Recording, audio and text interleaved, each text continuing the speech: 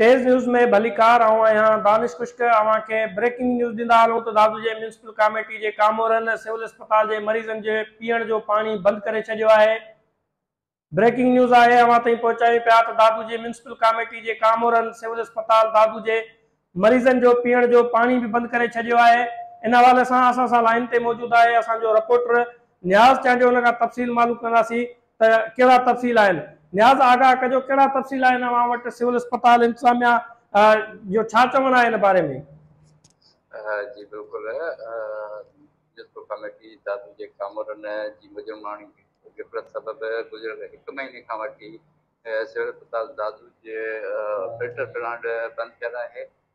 جت فر پانٹ بند ہوج سبب ڈاکٹر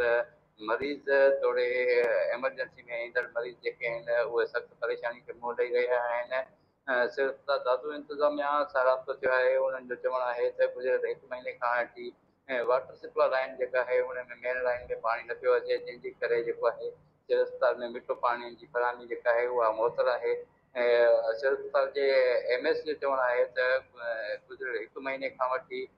پانی نہ آیا ہے روزانہ کی بنیاد سے اٹھے ہزار کا مریض جکے اوپی ڈیندی ہے جن سو مریض جکے داخل آن ان کے پاس پانی فراہم نہ تھا کر سکوں داد شہر جو ستر فیصد جل ہے وہ کارو ہوجن سب